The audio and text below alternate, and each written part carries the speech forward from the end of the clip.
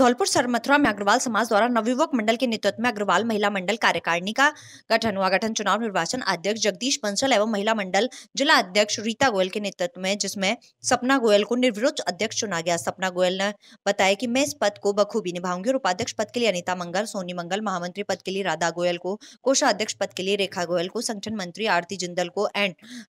मंडल के संरक्षक पद के लिए निवर्तमान अध्यक्ष प्रीति गोयल को चुना गया जिसमें उपस्थित अग्रवाल समाज के वरिष्ठ एवं नवयुवक मंडल के कार्यकर्ता मौजूद रहे दीवान वीरेंद्र गोयल रोशन लाल गर्ग भगवान लाल ठेकेदार जगदीश बंसल महामंत्री गणेश गोयल मौजूद रहे